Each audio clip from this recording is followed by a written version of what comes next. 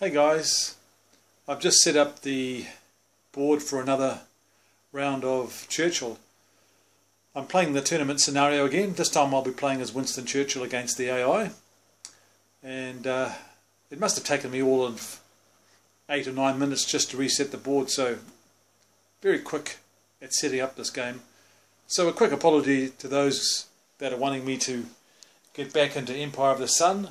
Uh, I will do very, very shortly. Really looking forward to it. But I'm just getting my kicks out of Churchill at the moment.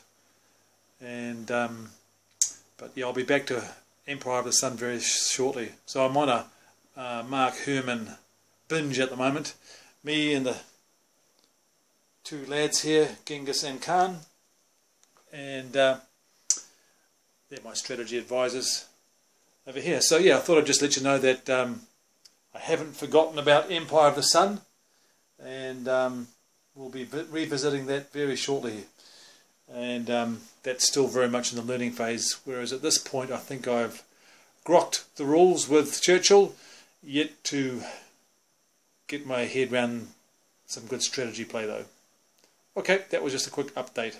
See you later.